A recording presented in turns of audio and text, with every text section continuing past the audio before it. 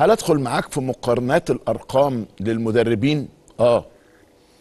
مش طبيعتك لكن هتكلم المرة دي.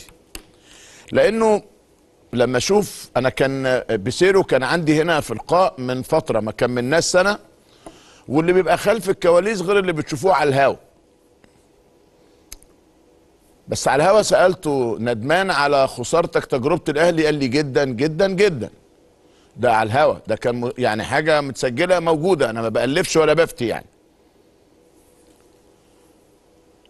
بره الهوا بقى أو off air زي ما بيقولوا يعني قال لي أكتر حاجة ندمان عليها. قلت له ليه؟ قال لي اولا استقرار هدوء ضمان للفلوس دعم مفيش بعده دعم. البلد عندكم جميلة مفيش مشاكل خالص نادي كبير. و و و و وكان ساعتها الأرقام بسيطة شوية يعني. بعدين هو كان راح سبورتنج لشبونة وراح كذا نادي كده والدنيا ما ظبطتش وراح منتخب نيجيريا وحتى الدنيا مش ظابطة معاه في تصفيات كأس العالم لحد دلوقتي يعني. وكان قاب قوسين أو أدنى إنه ممكن يقال قبل البطولة لكنه قالوا نكمل مع المنتخب النيجيري منتخب قوي. لكن هو ال system في نيجيريا مش مظبوط يعني. قعدت أسأل كده واتطقص الراجل ده بياخد كام دلوقتي مرتب في نيجيريا؟ قالوا لي ما بين 60 إلى 70 ألف دولار. ده مرتب جوزيه بيسيرو هو مدرب كبير خلي بال حضرتك يعني. طيب نركنه على جنب كده. طيب ديسابر بياخد كام في الكونغو الديمقراطية؟ الأقوال مختلفة. البعض قال لي 18000 يورو البعض قال لي 20000 يورو البعض قال لي 22000 يورو أو 22000 دولار عفوا. في كل الأحوال في كل الأحوال الرقم لا يزيد عن 25000 دولار. هتقول لي بس فيتوريا مدرب كبير ودرب أندية في آه، آه، البرتغال؟ طبعا. على فكرة مدرب له احترامه. لكنه نفس الأمر جوزيه بيسيرو. مدرب له احترامه ودرب أندية كبيرة جدا كمان وتقيلة جدا سواء في البرتغال أو خارج البرتغال. طب هي المشكلة إيه؟ المشكلة إن إحنا وعلى فكرة على مستوى الأندية كمان بعضا من الأندية يعني. إحنا ما بعرفش نتعاقد. وإحنا بصراحة بيضحك علينا من الآخر كده يعني. ما هو الناس هتعمل لك مقارنة إيه هتقول لك بص أدي بيسيرو في الدور نصف النهائي ب 60 70 ألف دولار وأدي دي صبر يا سيدي هقول 25 ألف دولار بالمبالغة في الدور نصف النهائي وإحنا ب 200 ألف يورو مش عارفين نوصل. هي على فكرة المقارنة تبقاش كده لكن هي دي الأرقام. يا إما إحنا فلوسنا كتير يا إما إحنا ما بنعرفش نتعاقد يا إما إحنا ما بنعرفش نختار يا إما يا إما يا إما يا إما زي ما أنت عايز تقول قول. لأنه لو بنفس الراتب وأنت مكمل وآخد البطولة الناس هتضرب تعظيم سلام. ده طبيعي جدا. لكن مع الخسائر هنا اسمها كده بالبلدي خسرت الجلد والسقط. مفيش. لا أكل ولا بحلق لا بناخد بطولة ولا بنوفر فلوس. يعني إيه؟ محصله بعضها. طب لو محصله بعضها هندفع فلوس على الفاضي ليه؟ ما تعالوا نحسبها. هل هي أزمة جيل؟ إزاي؟ أنا بتكلم في صلاح مصطفى محمد مرموش تريزيجيه خط الهجوم لوحده. وكمل بقى. بقيه اللعيبة. يعني لما تيجي تشوف نجومية دول وعطائهم بأي منتخب آخر لا إحنا نزيد. يمكن قبل البطولة دي ما كانش دخل مرمانا أهداف كتير في المباريات الرسمية باستثناء مباراة تونس الودية 3-1 وشغالين تقريبا شباكنا شبه نظيفة يعني. لكن في البطولة دي دخل مرمانا سبع أهداف. فبقى عندنا مشاكل فنية ومشاكل مادية ومشاكل إدارية. لأنه فعلا مش عارفين نحل. وعلى مر الزمن على فكرة. عشان ما أقولش الاتحاد ده بس على مر الزمن إحنا ما بنعرفش نتعاقد. إحنا ما بنعرفش نكتب عقود. إحنا ما بنعرفش نحفظ حقوقنا.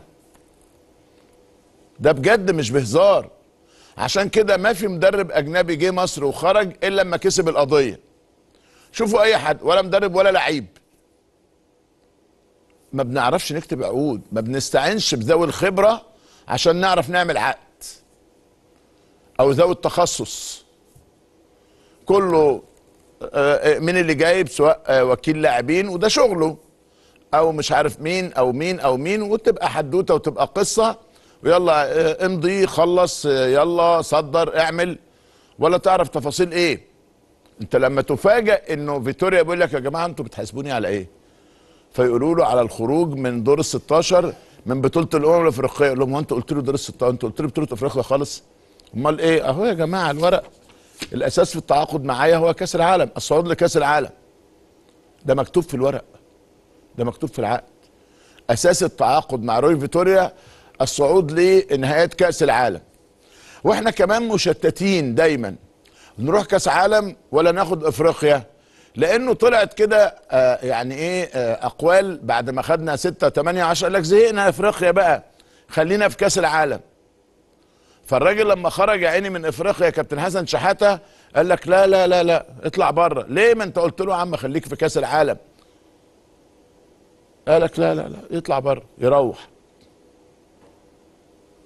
وخرج كابتن حسن شحاتة من 2010 وما رجعش.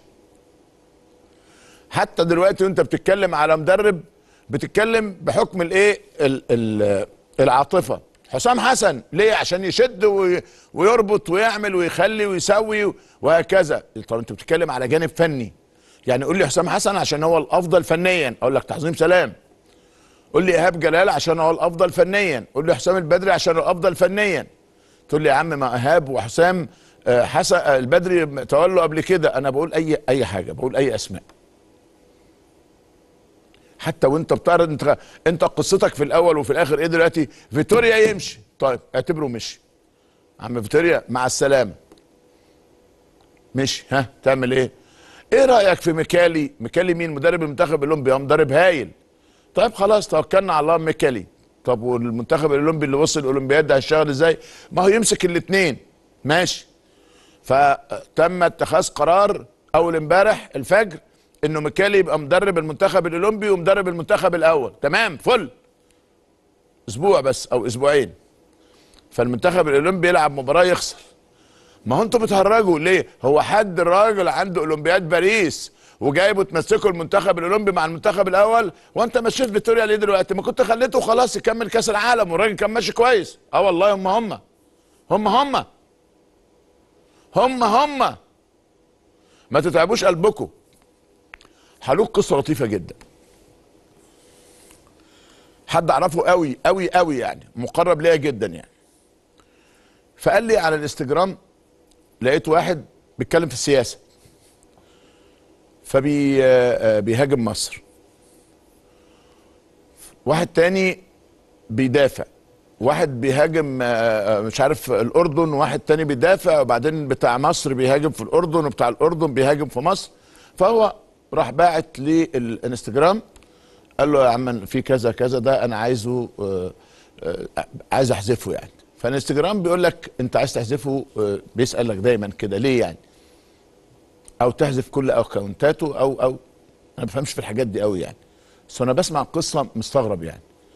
فقال له آه عايز أحذف ده لأنه فلما جم يشوفوا ال- ال- الأكونتات بتاعته طلع ده هو ده هو ده هو ده. يعني يدخل يعمل تويتة آه، آه، ضد مثلا مصر وبعدين يعمل تويتة ضد الأردن وبعدين يخلي ده يشتم في ده وده يشتم في ده وده ويعكس ده مع ده. هم هو هو واحد. هو هو شخص واحد. تخيلوا؟ هو هو واحد. هنا بيشيد وهنا بيشتم هنا بيشيد وهنا بيهاجم وهكذا. قصص شغالة. نفس الأمر موجود في الرياضة. بس ده كان سياسة. لا مش عايزين فيتوريا. لا لازم فيتوريا يقعد. عايزين حسام حسن. حسام حسن ما يجيش. ميكالي ميكالي ما, ما ينفعش. هو برضه بيبقى هم هم بس في ساعات بتبقى ناس واضحة. في ساعات بتبقى ناس واضحة كده إيه لذيذة جميلة كده إيه وشها مكشوف. وشها مكشوف. زي ما حصل مع محمد صلاح يا عيني. محمد صلاح دخل في ثلاث أسابيع. وشاف اللي ما يتشاف وأنا فهمتكم الحكاية بس في ناس واضحة جدا يعني. هنا أنا يلا بينا نعمل الليلة على صلاح أو على الشناوي. ما بقول لك إيه الشناوي دخل فيه ست جوان. وفي جون يدخل فيه ست جوان في البطولة؟ آه. آه يدخل. إيه يعني؟ نعم. آه إيه يعني؟ وممكن كلهم ما يكونوش منه. إيه يعني؟ عادي. وإيه يعني؟ ويبقى مسؤول برضه. إيه يعني؟ نعم. آه إيه يعني؟ ما كل جوان بيدخل فيها جوان واللي بيدخل غلطة منه واللي بيدخل ليه واللي بيدخل عليه وهكذا يعني. تحصل لكن يلا بينا. اقرص على الشناوي اقرص على فتوح اقرص على امام اقرص على كذا. قصص. في ناس فاضية وفي ناس مغرضة وما أكترها وفي ناس محترمة وما أكترها أيضا. في ناس بتقعد تكتب باحترام كده تقعد تقرأ لها وانت مبسوط وانت مستمتع وانت فرحان. في ناس بتبقى عايز تجري جري جري جري جري جري. لكن أرجع تاني أتكلم على سياسة الإدارة الرياضية. نحن نفتقدها في مصر. وعلى مر العصور عشان بس ما برأش حد. أنت عايز تبدأ من أول وجديد. عايز تشتغل صح.